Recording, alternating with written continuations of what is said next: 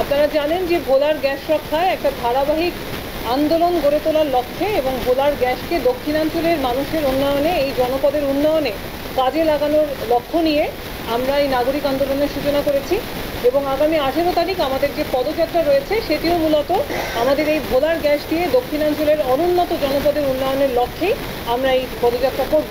আমি আমাদের সংবাদ সম্মেলনে বক্তব্য পাঠ করছি। প্রিয় সাংবাদিক বন্ধুগণ, শুভেচ্ছা নেবেন। আপনারা জানেন, ভোলার গ্যাস দিয়ে বরিশাল সহ অনুন্নত দক্ষিণাঞ্চলের মানুষের উন্নয়ন আমাদের দীর্ঘদিনের দাবি।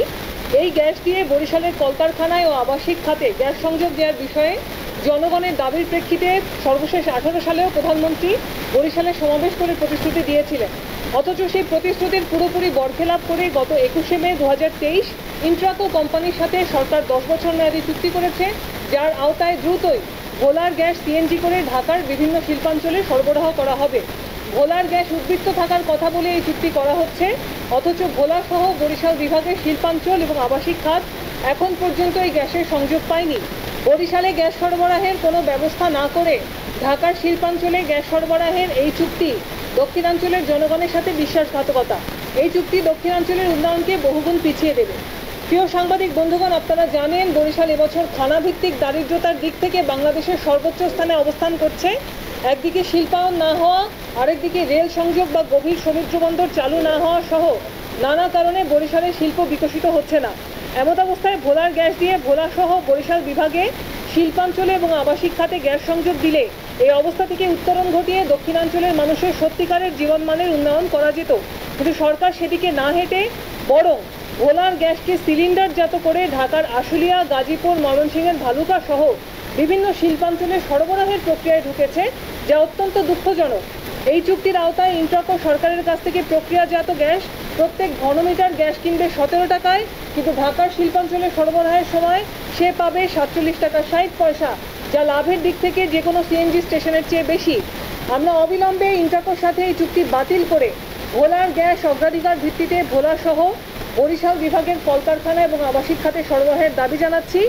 একই দাবিতে আগামী আঠেরোই জুলাই অশ্বিনী কুমার হল থেকে বরিশাল বিভাগীয় কমিশনার কার্যালয়ে বরাবর আমাদের পদযাত্রা অনুষ্ঠিত হবে। একই দিনে ভোলাতেও ভোলার গ্যাস রক্ষায় দক্ষিণাঞ্চলের নাগরিক আন্দোলন ভোলার জেলা প্রশাসক কার্যালয় বরাবর পদযাত্রা অনুষ্ঠিত করবে। দাবি পূরণ না হলে বিভাগের ছয়টি জেলায় সমাবেশ করা সহ প্রয়োজনে আমরা বরিশালবাসীকে সাথে নিয়ে বরিশাল থেকে ভোলা রোড মার্চ, লং মার্চের মতো কর্মসূচি দেব। এই আন্দোলনে অংশ নিয়ে ভোলার গ্যাস নিয়ে দক্ষিণাঞ্চলের মানুষের ভাগ্য পরিবর্তনের ভূমিকা রাখার জন্য আপনাদের সকলের প্রতি আমরা আহ্বান জানাচ্ছি, বরিশালবাসীর প্রতি আমরা আহ্বান জানাচ্ছি।